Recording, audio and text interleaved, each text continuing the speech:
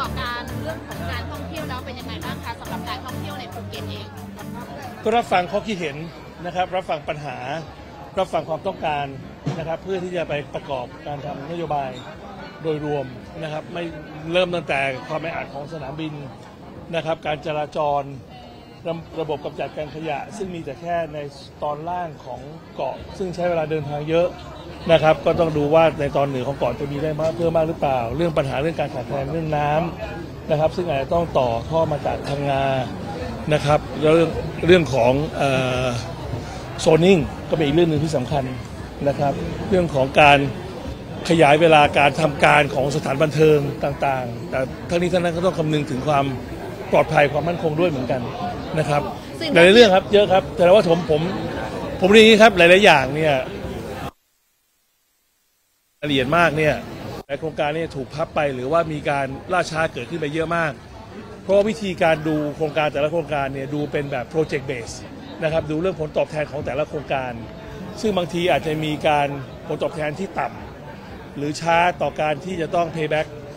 เพราะนั้นเนี่ยเวลาดูเนี่ยจริงๆแล้วเนี่ยจังหวัดภูเก็ตเนี่ยเป็นแหล่งรายได้ใหม่ของประเทศ บางโครงการอาจจะมีการขาดทุนหรือไม่กำไร แต่ถ้าเกิดมีการดำเนินการไปแล้วทำให้จังหวัดภูเก็ตโดยรวมดีขึ้นก่อให้เกิดรายได้ที่เพิ่มมากขึ้น มีนักท่องเที่ยวเข้าเพิ่มมากขึ้น เราต้องดูเรื่องของ multiplier effect ที่จะเกิดขึ้นจากการที่ลงทุนเหล่านั้นลงไป เพราะฉะนั้นเนี่ยก็คง รับฟังข้อมูลนำไปพิจารณา แล้วก็เขียนแผนแม่บทมาอีกทีหนึ่งนะครับ สิ่งที่ต้องเร่งเพื่อรองรับไตรมาสสี่ที่จะมาถึงนี้คืออะไรสำหรับเรื่องของการท่องเที่ยวนะคะ หลายอย่างครับเรื่องของการเพิ่มบุคลากรนะครับของทางด้านเอ่อตรวจคนเข้าเมือง เรื่องของเอ่อ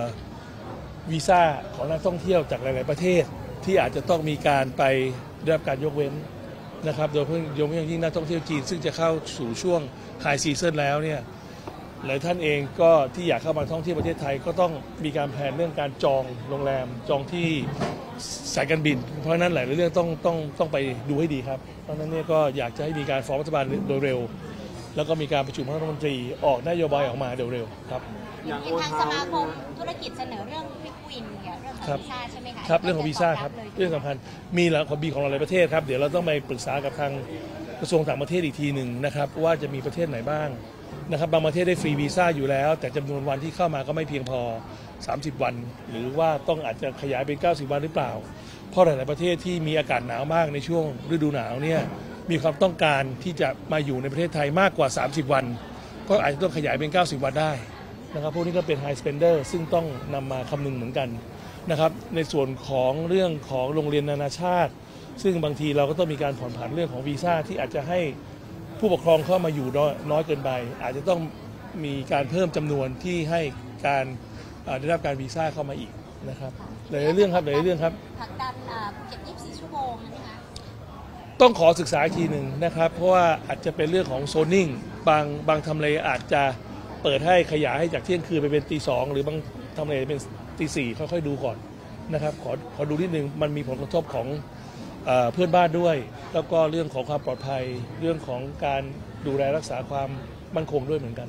นะครับต้องดูให้ดีครับต้องดูให้ดีต้องดูให้ครบวงจรทั้งหมดนะครับปัญหาเรื่องของโครงสร้างพื้นฐานในพื้นที่จังหวัดภูเก็ตนะเรื่องรถติดก็ครับดีหรือว่าการจราจรตรงนี้ครับก็มีผมดูไปแล้วผมบอกไปแล้วว่าแต่ละโครงการเนี่ยมีมีหลายโครงการที่เราดูเป็น project base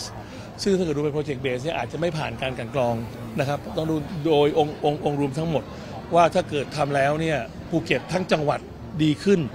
เราก็ไปหารายได้เสริมจากทางด้านอื่นเข้ามาไม่ใช่แค่โปรเจกต์นั้นโปรเจกต์เดียวนะครับแล้วอีกอย่างหนึ่งก็อาจจะมีอีกหลาย ๆ โครงการ ซึ่งเป็นไม่ใช่เรื่องของตัวเลขการเงิน เป็นเรื่องของความปลอดภัย อย่างเช่นอุโมงค์ของทางด้านป่าตองเนี่ยนะฮะตั้งแต่ 10 ปีที่แล้วที่สมัยทนายกยิ่งรักนี่จะทำตอนนั้นสิบห้าพันล้าน ตอนนี้ก็รู้สึกว่างบประมาณกายเป็นหมื่นล้านแล้ว อันนี้ก็ขอดูข้อมูลอีกทีหนึ่งแต่ว่ายังไงก็ต้องทำครับ เพราะเป็นเรื่องของชีวิตความเป็นอยู่ของพี่น้องประชาชนของภูเก็ตนะครับเรื่องที่สำคัญครับ